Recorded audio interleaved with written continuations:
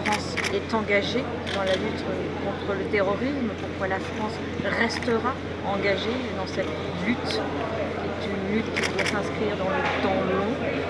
et qui est une menace, qui est à la fois la première préoccupation de nos concitoyens et qui est aussi la première préoccupation et le premier objectif du ministère des Armées.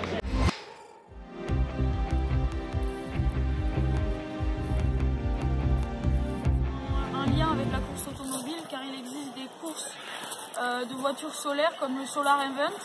Mais euh, aussi à travers ce thème, on voulait montrer qu'il est encore temps de changer les choses et euh, qu'il est encore temps de prendre le bon tournant pour stopper le réchauffement climatique.